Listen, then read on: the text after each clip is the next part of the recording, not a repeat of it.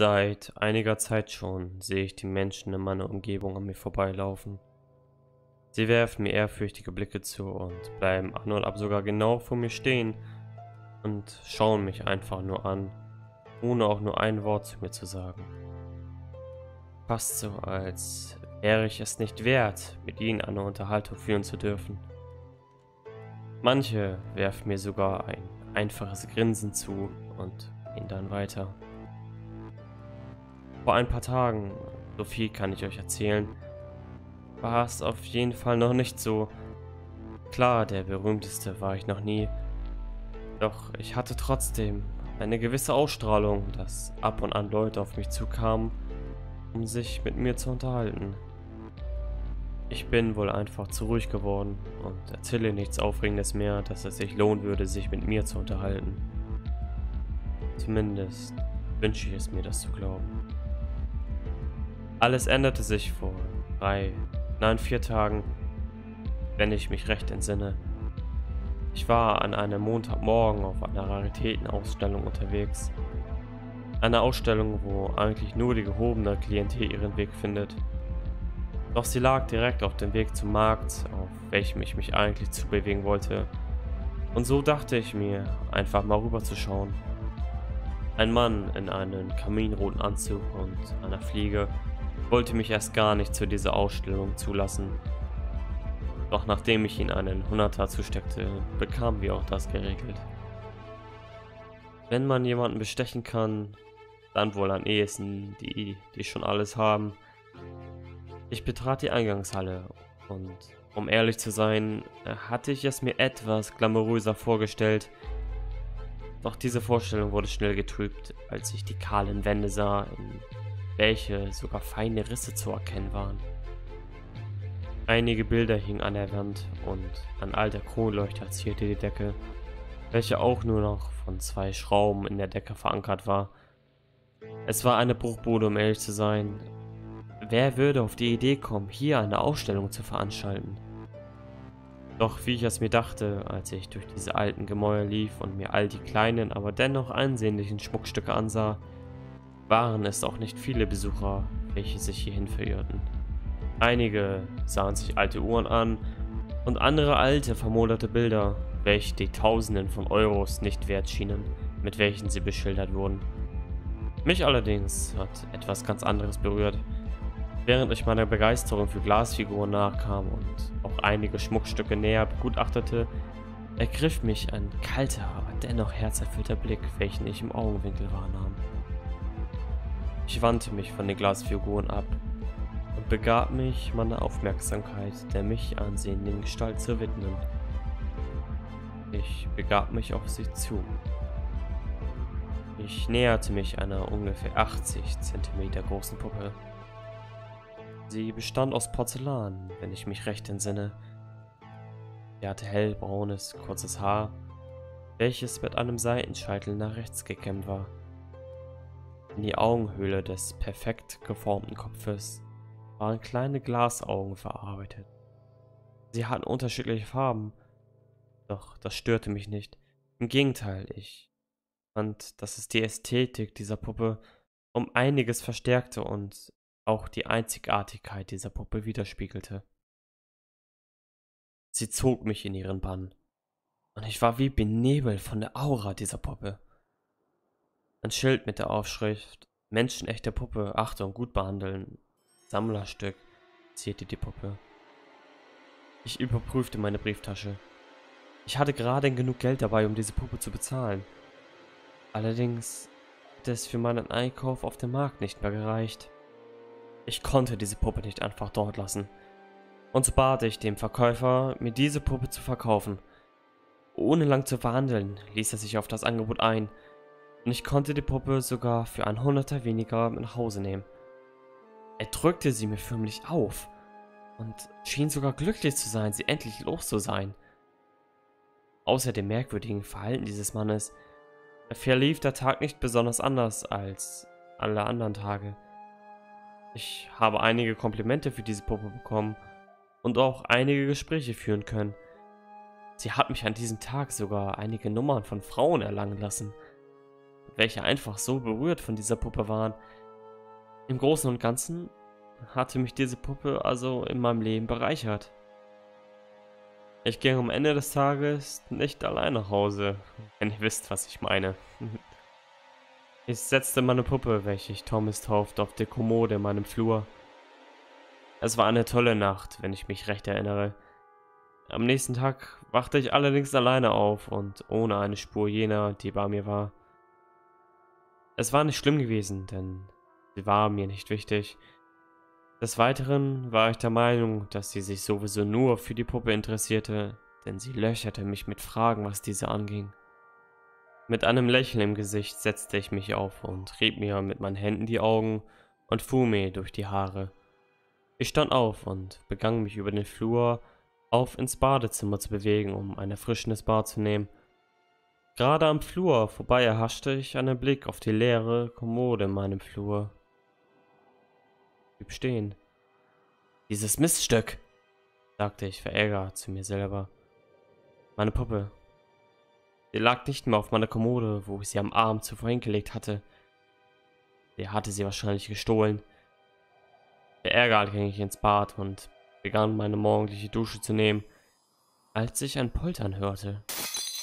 Ich drehte das Wasser aus und lauschte dem Geräusch. Ich schnappte mir das Handtuch und trocknete mich ab, ehe ich aus dem Badezimmer ging, um dem Geräusch zu folgen. Ich blickte in die Küche und sah, wie meine Puppe auf dem Boden lag.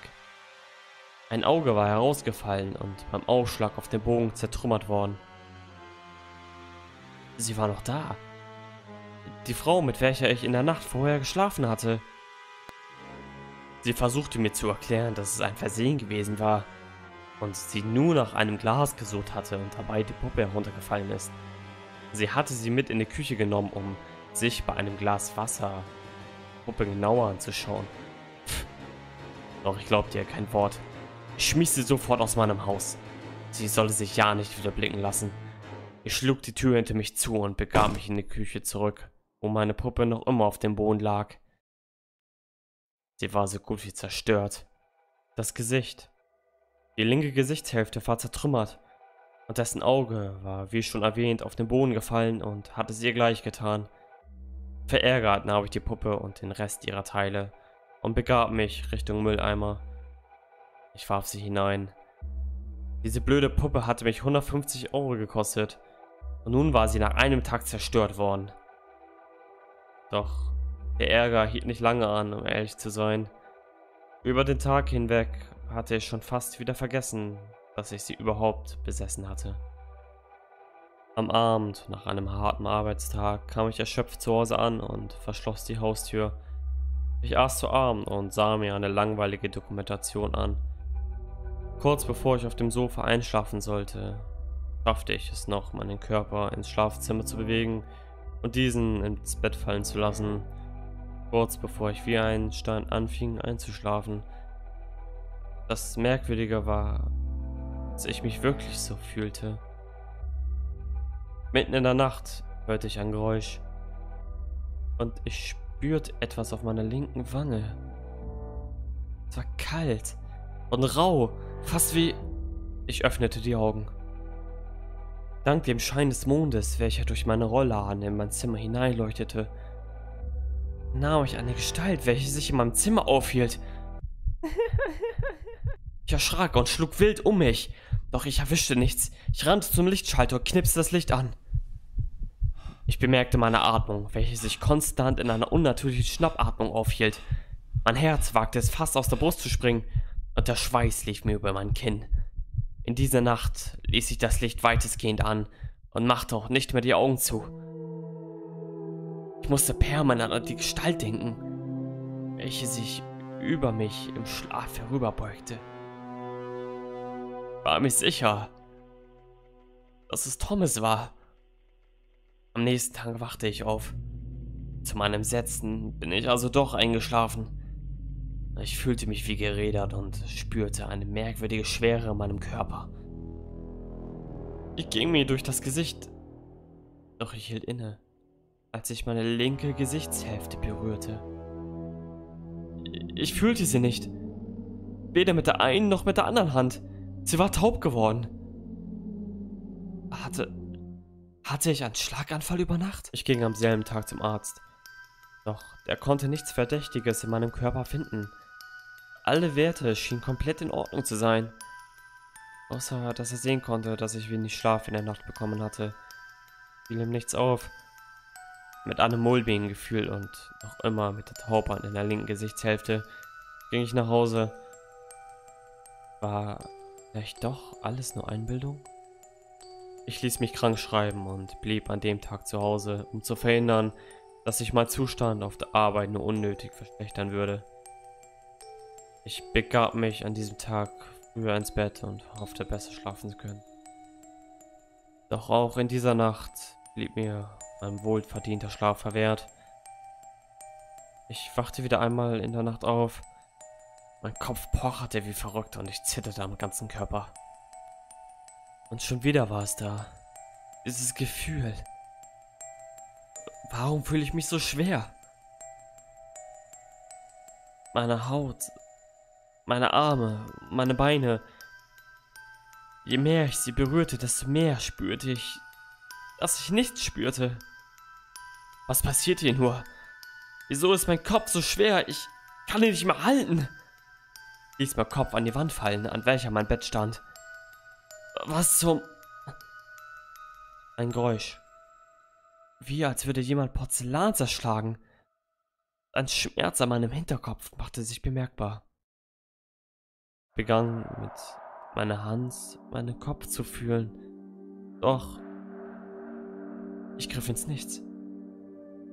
Dort, wo eigentlich Blut sein sollte und eine Beule oder ein blauer Fleck, war nichts als Leere. Blickte auf meine Schulter. Dort nahm meine Augen ein Stück Porzellan wahr. Nahm es und sah es ungläubig an. Was passiert hier? Du bist der Puppe. mein Herz setzte aus.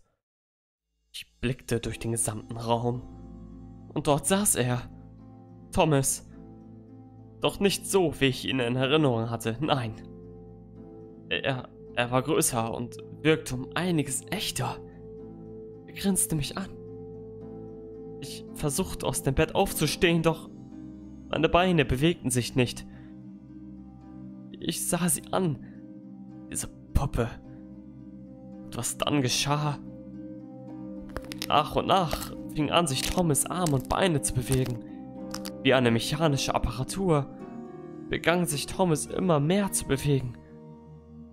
Sein Gesicht, es nahm markante Züge an. Selbst die zertrümmerte linke Hälfte war wie neu geworden. Seine Bewegungen fingen an, sich dem eines Menschen zu ähneln, während ich nur noch zusehen konnte. Ich war erstarrt und mein Körper bewegungsunfähig. Meine Arme, meine Beine, mein Kopf. Nichts von dem war noch zu gebrauchen. Ausschließlich mein Herz war noch am Pumpen. Meine Augen und meine Ohren vernahmen, wie sich Thomas langsam auf mich zubewegte.